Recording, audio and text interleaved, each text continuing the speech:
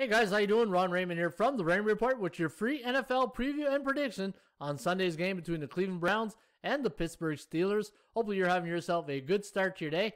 As always, don't forget, if you do enjoy these videos, please hit that like button and subscribe to our channel by tapping that notification bell in the top right hand corner. All right, guys, last game of the uh, NFL wildcard weekend between the Steelers and the Cleveland Browns. Now, Pittsburgh, a four and a half point home favorite, over and under set at 46 and a half. ATS forecast, the computer pick, gonna lean with the Steelers here in a close one. 22.9 to 20.8. The over under at 43.7. Looking at the Steelers' last five games, one and four against the point spread, two and three against the number, three and two to the over. Where Cleveland, coming off a big win last weekend against the Steelers, although they played a lot of their backups, three and two straight up, two and three against the number, and three and two to the over. Now, looking at the value index here on this game, we had Pittsburgh at minus 6.5 and you're laying four and a half. So if you do like the Steelers, you're getting good value here with Big Ben and company. And if you like uh, Nick Chubbs and Kareem Hunt in the running game of the Cleveland Browns, we had them at plus 0.69 and you're getting four and a half. So you are getting value on both these teams this weekend. The chance of winning does favor the Steelers at 82.1% based on 15 previous games in the database, and the chance of covering the spread favors Cleveland at 63%. Now, the chance of this game going over the total is at 40%, meaning a 60% chance of this game going under the total. And that's where I think I'm leaning this game here, guys.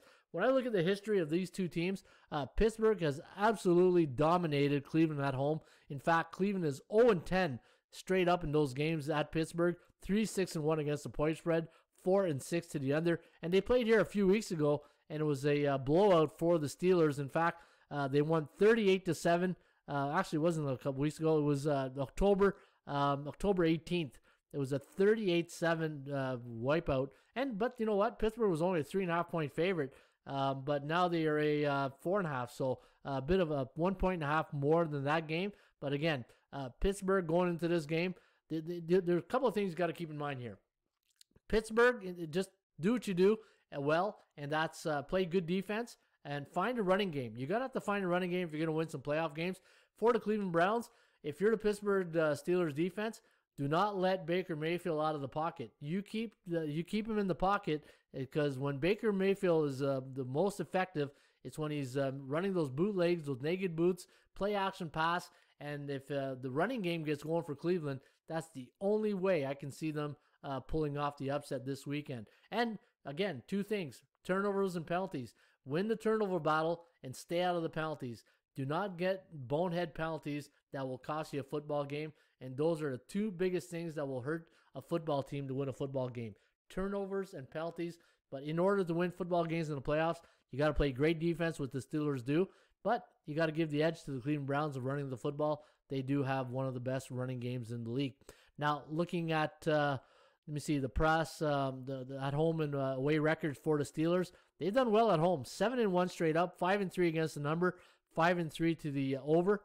And uh, for Cleveland, not a bad year, eleven and five straight up on the season, five and three on the road. So uh, they do have some success playing on the road this season. But uh, it's going to be an interesting matchup here this Sunday. The final game will be a night game, so it'll probably be a cold one in Pittsburgh. So there you have it, guys. Uh, I think the under is where you want to go, under 46 and a half. And uh, let's see what the ATS calculator says on that number two. Yeah, 38.9 and it has Pittsburgh winning by 3.65. So under is the play here, guys. Uh, Pittsburgh and Cleveland. Hopefully you catch you a nice winning ticket. As always, you can subscribe to this channel by tapping that notification bell in the top right hand corner. Shop for value, play those percentages. We'll see you back shortly with another rain report.